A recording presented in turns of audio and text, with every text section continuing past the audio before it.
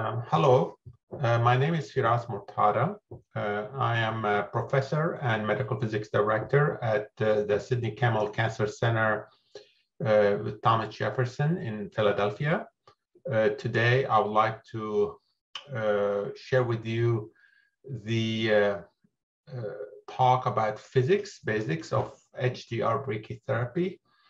Uh, this is uh, part of the, the third series, the technical and imaging aspects uh, uh prostate brachytherapy course uh, sponsored by the ABS, the American Brachytherapy Society. I don't have any disclosures.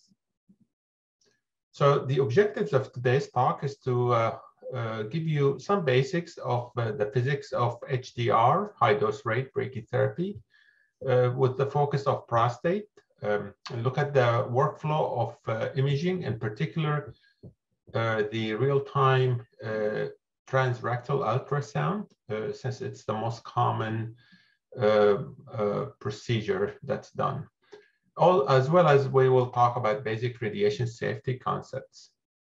So brachytherapy, brachy means in Latin short or near, so it's a therapy at a very, very short distances um, that involves application usually with sealed radioactive material uh, into or immediately adjacent to the tumor in the prostate. Uh, that's the intent is to place that source inside the gland itself. As you know, uh, prostate cancer option treatments uh, uh, could include uh, the following, prostate prostatectomy, external beam uh, with the hormones, LDR, this is low dose rate uh, using uh, very low energy uh, seeds. External beam with LDR, uh, the LDR will be as a boost. HDR, uh, high dose rate brachytherapy monotherapy, or HDR as the boost with external beam. So why HDR brachytherapy in terms of the physics? Uh, we believe, uh, and it has been proven, proven to provide you with a dose escalation uh, that is not uh, feasible or possible using other methods. It's coupled, when coupled with image guidance, HDR for prostate can be implemented in a very safe manner. This is in, in particular in the last uh, uh, 10, 15 years that has been well demonstrated. In fact, there has been also an evidence from the radiobiology aspects that an increase of 10 gray, gray is a unit of dose, we'll discuss that later. Uh, it implies uh, uh, about 10% increase in biochemical disease-free survival. So definitely uh, the amount of dose you, you increasing uh, to, uh, to the prostate with HDR will give you survival advantages. So let's talk about the technology. This is the afterloader, a typical after afterloader. loader. It provides you with a very high doses per fraction. This is a dose fraction. Um, the uh, radionuclide that's provided provide a very steep dose gradient. And the, uh, the nice thing about, or the advantages is that even with you have, when you have motion of the organs, it's uh, fairly unaffected because the catheters move with that prostate uh, itself due to motion. There's a high conformality uh, in the dosing uh, due to inverse planning, and I'll show an example of that, and which result in improved accuracy. And typical uh, times for treatment, that's the dwell time uh, when the source is out in the order of minutes. So here's an example on the left panel, high dose rate isodose contours. Uh, you can see these are the, this is the prostate. And um, if you just look at the 50% and 30% isodose lines that uh, reside outside the gland, uh, compared to volumetric uh, VMAT, we call it, this is an inverse planning external beam, volumetric uh, inverse planning uh, you definitely see that the, the uh, high dose rate uh, isodose contours are closer, um, uh, which means uh, you have less dose to the surrounding normal tissue. In particular here, the rectum is very close. And this is clearly an advantage for high dose rate. And that's what we mean by conformality. So we, we talk about that brachytherapy in general, the, you bring the source to the target. Uh, thus, dose escalation is possible as compared to external beam alone. Uh, using inverse planning techniques in treatment planning provides ways for greater conformality and sparing the organs at risk surrounding. Uh, there's a potential for high efficacy and lower risk of toxicity or risk of secondary malignancies relative to other modalities um, in uh, radiation oncology. So the most common radionuclide uh, used in prostate high dose rate is iridium-192. The half-life is, is 74 days. So typically we do a source exchange once a quarter. So every three months, uh, you will see a dose, uh, we, you, you require to so, uh, change that source. Otherwise, uh, to uh, the uh, dwell time or the time it takes to, to treat it will be longer than 10 minutes. So we try to uh, do a source exchange to reduce the wait. Uh, the energy is, this is the average energy is 380 keV. Uh, so it's fairly high energy. Thus it requires a vault that is uh, designed especially to uh, um, make sure that the exposure outside the uh, treatment vault is reasonable is low. Uh, relative to low energy seeds like cesium-131, iodine, and palladium, these are low dose rate uh, sources that are used currently in, in uh, LDR prostate seed implantation. Um, and the other radionuclides, obviously, these are just for historical comparison of what uh, other used to be there's no longer radium, cobalt, or cesium-137. These are no longer actually in our clinics. Uh, neither the gold 198. This is this is kind of uh, the prior sources in the past, but I just gave them as a reference. So let's talk about what we mean by high dose rate. Um, it's, it's defined as um, a dose rate um, of 12 gray per hour um, and that's why we are able to deliver the, um, the dose we need in, in a matter of minutes. The uh, HDR brachytherapy is widely, has been accepted over the last decade. Namely, it is a minimally invasive procedure for treating prostate cancer. It provides effective dose escalation, as we mentioned, um, with the advantages of minimizing toxicity and favorable quality of life outcomes. And that has been proven because of the inverse planning that we are able today to do using ultrasound guidance in real time. Uh, delivering a high radiation dose in a single or few fractions now is possible, uh, but requires highest possible accuracy and precision uh, to actually accomplish that uh, with minimal uh, toxicity or side effects. So here's the, this is from Dr. Morton from Sunnybrook, just examples. This is as a function of time, uh, the different fractionations and different dosing that has been explored and used.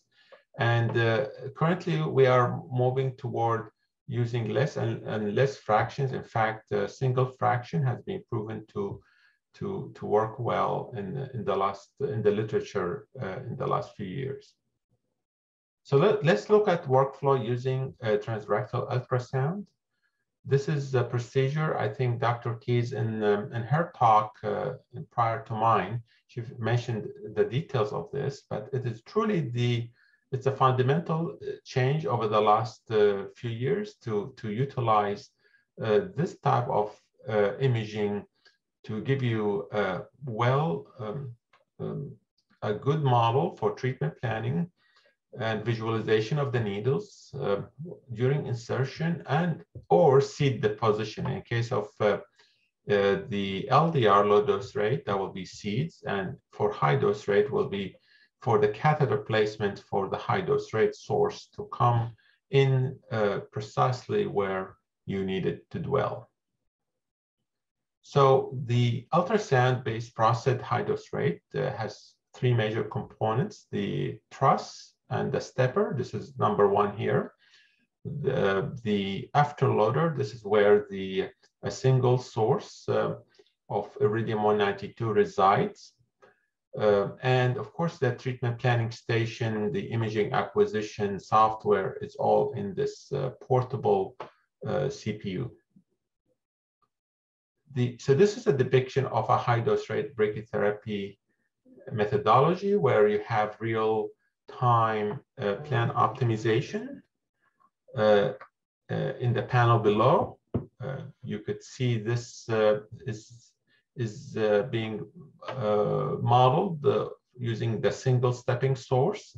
The iridium source that comes here, you could see it here, it dwells per, per position precisely within an accuracy, uh, with high accuracy and a precision of plus or minus one millimeter. So the afterloading technology of today is proven to be very effective to, to give you a very precise dose painting. We call this as a dose paint because you're able to uh, optimize this picture in real time um, uh, using that source stepping.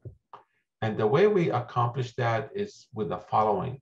This is a nice workflow. This I got it uh, from uh, from Elekta uh, for their system. But the idea for everything else is the same. The patient starts with the ultrasound imaging, the contouring, dose planning, uh, needle insertion based on the initial plan.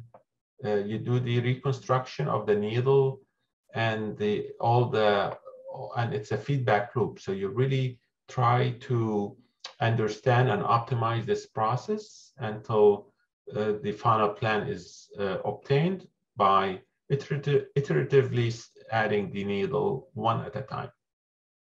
So once you're you're happy with the plan, you approve it and uh, treatment delivery while the patient still is on the table and patient out. So this is the modern uh, real-time HDR workflow that works very efficiently, and you could do this in in a very efficient manner. So this is an example of an inverse plan. Uh, this is um, from um, from the uh, same system I showed you uh, earlier. Uh, the software that's give, give you iterative reconstruction, contouring of the gland and the catheters as you place them in. And it will suggest to you where these dwell positions, you could see these red dots here, is that where the optimal plan would be. Uh, this is just an example of what we mean by inverse planning. This is a HIPO optimization. It's one of the algorithms this vendor has basically you define the prostate, the goal, the target, what you want to achieve, and the organ at risk. For example, the rectum here. Uh, there is a metrics that we, we, we optimize to give us the ideal uh, dose uh, to both target and um, organ at risk. Of course, we want to maximize dose to the gland and minimize to the to the surrounding tissues.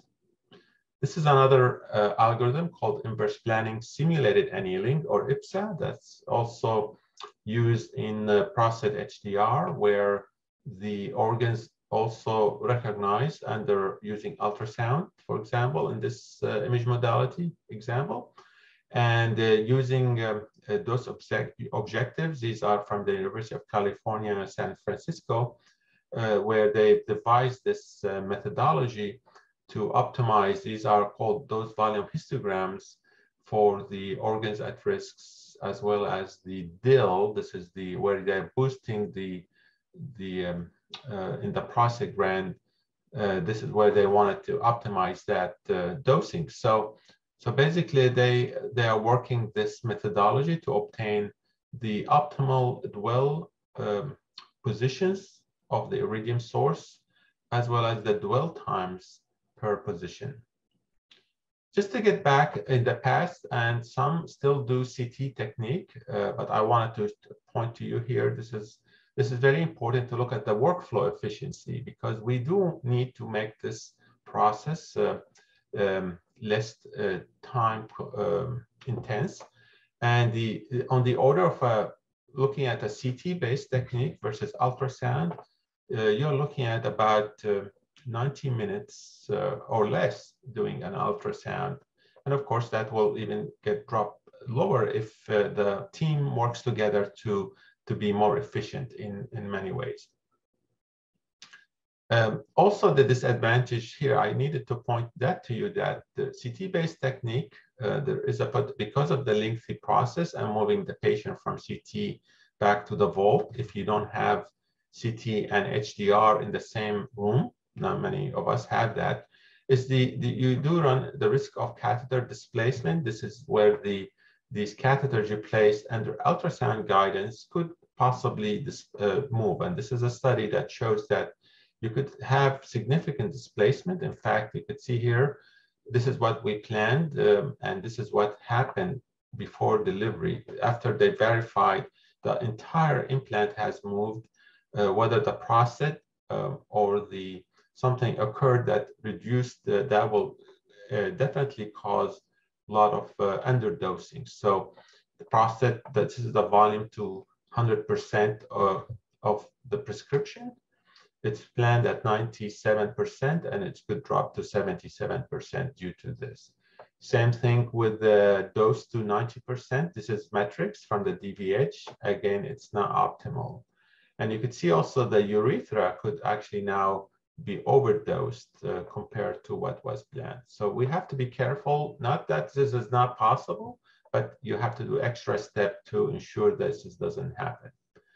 Also, we, I want to point out that from CT, uh, now we are currently, there's a lot of promise of MR. This is T2 weighted 2D images uh, from, um, from uh, TG303. This is from the AAPM. This is a, our uh, so recent recommendations on how we could do prostate HDR with MR guidance.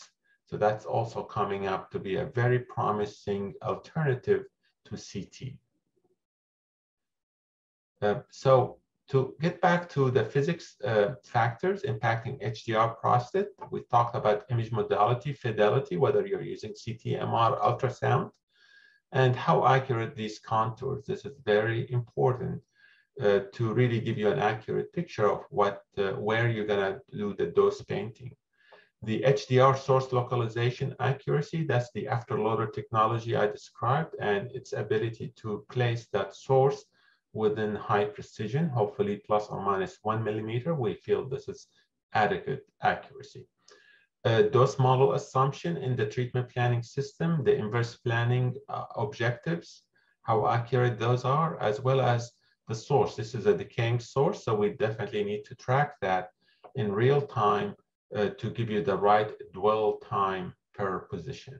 So all of these factors, and there is more, but these are the most important, truly impact clinical outcome quality for high dose rate brachytherapy. Just an example of ultrasound image quality. Uh, definitely, uh, these are tests that you should perform during the initial commissioning of the program and annually. Make sure that you don't forget that these things could change the calibrations of the grid. This is spatial calibration test uh, using uh, the um, uh, uh, quantitative phantoms that will give you understanding of your accuracy and precision. So the last segment I would like to share with you is radiation uh, safety because it's important for you. Um, the most three the three concepts you should remember is time, distance, and shielding. Minimize your time around the source. And we usually ask you to not be around an iridium source, obviously. Uh, inside the afterloader, it's minimal, so you could stand there. It's not a big issue because it's well shielded. And that's exactly goes to shielding. Obviously, if the source is out, you are outside the vault, your door is closed, so your, your radiation doses are very minimal. And of course, the third one is distance. It's the radiation exposure falls as a as a function of one over distance square. It's a, it's a physics law. Uh, so we know that in, uh, in case of an uh, radiation incident that keeping distance will, will help a lot with reducing your exposure. And this is a concept called uh, ALARA, as low as reasonably achievable. We monitor for radiation workers, um, um, and it is important uh, regularly um, concept that we, we, we should adhere in our practices.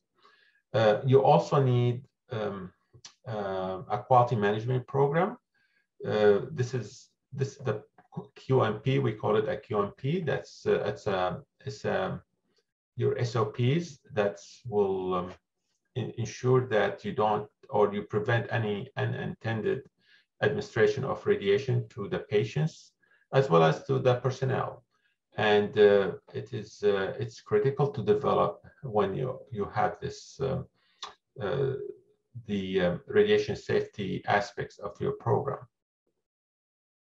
In terms of terminology, I just wanted to remind you that these are the terms. Röntgen is a unit of radiation exposure. Um, it's used uh, very much still. It's an older unit. There's a newer unit called um, um, um I will talk about it uh, later. It's the REM here. It actually goes from Röntgens to RADS. It's a unit of absorbed dose. Uh, the SI unit is the gray. So you saw me, um, the new unit is in gray. So typically now we, we describe, prescribe doses to the prostate in, in this unit rather than in the old units of RADS. Uh, REM is unit of dose equivalent. This is, um, it is um, it's an important unit when uh, you're looking at radiation protection aspects. But commonly for iridium source, uh, iridium 192, a one Röntgen is equal to one rad to one rem and maybe used interchangeably. Uh, but typically, I mean, you in your practice, you should decide on one unit. Uh, that's good practice usually. And typically, it's the uh, the SI units. In terms of dosimeters, uh, you, you, should remember to wear your uh, whole body badge. Ring dosimeters as well, they are important if you are manipulating, in particular, particularly for prostate seed implants with LDR. Uh, not, as, not as much uh, with the afterloading technology since you're not actually um, handling the sources. But uh, this is uh, supposed to be worn during these procedures uh, radiation area signs, you, you'll see that we have these. Typically, they are required by law to have around whether it's where the afterloader is stored or where the bolt is. So please uh, uh, learn these and uh, uh, realize that they are important to be posted regular by the regulators. So in conclusion uh, of my talk, prostate HDR with real-time image guidance provide high quality implants, um, an efficient process using inverse planning, uh, the high, uh, the HDR radiation exposure uh, in current practice is minimal due to the afterloading um, and establishing ALARA controls. And the uh, quality management and QA processes and steps are essential to provide high quality HDR implants. Thank you very much. Thank you.